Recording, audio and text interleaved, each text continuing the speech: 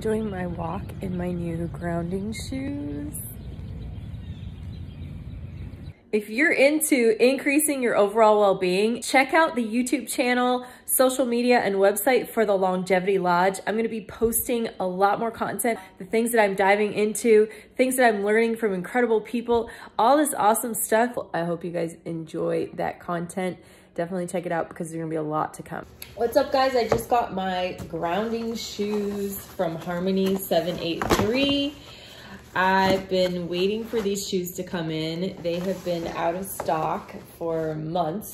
I'm on their newsletter, blasts, emails, and all that. So I did get a notification that they were finally in and ordered them right away. The shoe themselves allows you to absorb energy from the earth. So it helps rebalance your whole body's system, reduces inflammation, it boosts your energy levels, and um, helps to improve your overall well-being. So when we're connected to the earth and barefoot, we get grounded. When we wear rubber soles on our shoes, we create a barrier and it doesn't allow us to get recharged and um, grounded. So these shoes are created by Harmony 783 and this comes with a little card, a thank you card, and then a story about them. There's a little tidbit on why they're Harmony 783. 783 says, a tribute to the fundamental Schumann resonance at 7.83 hertz, the frequency at which our bodies connect to the healing energy of the earth. How cool is that?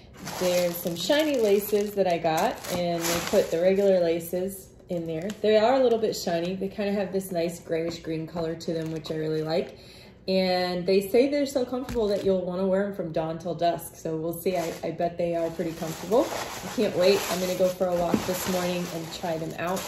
By the way, if you are doing grounding shoes and doing the whole grounding thing, you can, from what I've researched, you can get grounded from concrete like sidewalks. However, asphalt is a different story if you're trying to get, um, if you're walking on asphalt. So for those of us in the Greenville, South Carolina area and um, on the Swamp Rabbit Trail, there's parts of that that are asphalt. You can probably go off to the side and walk on the dirt um, or the grass, but I will probably primarily focus on walking in the newer Unity Park area where it is concrete so that it, it goes through. But for whatever reason, whatever asphalt contains, it doesn't allow the grounding um, connection, but concrete does.